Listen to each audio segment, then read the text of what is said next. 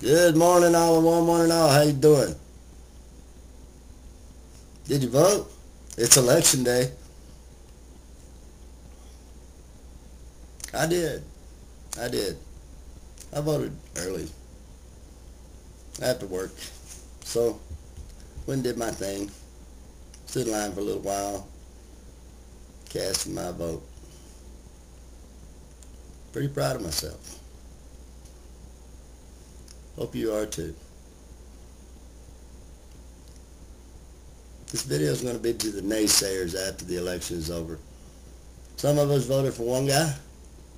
Some of us voted for the other. And some of us voted for way out there another guy. When all is said and done, someone's going to win this election today. Who? Anybody's guess. It always is. Like I said, once you step in that booth is when you vote. You can talk all you want on the way in, but once you get in there is when you make that real decision. I made mine, and I can live with it. Live with yours. If you did not vote in this election, I'm sorry. I'm sorry you didn't vote. But I'll make a deal with you. If my guy doesn't win because I casted a vote for him and he didn't win, I'm not going to bitch about it. There is no time to bitch about it after today.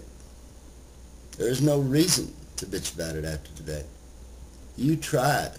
I tried. If you did not vote, you don't get the bitch. Nope, nope, nope, nope, nope. I don't even want to hear it. Because you did not try. As for the rest of us, we're awesome. We went out there and tried. Tomorrow morning, we're going to wake up and we're going to have a new president. Like him or not, he is our president and we're just going to have to get over it. this is America after all.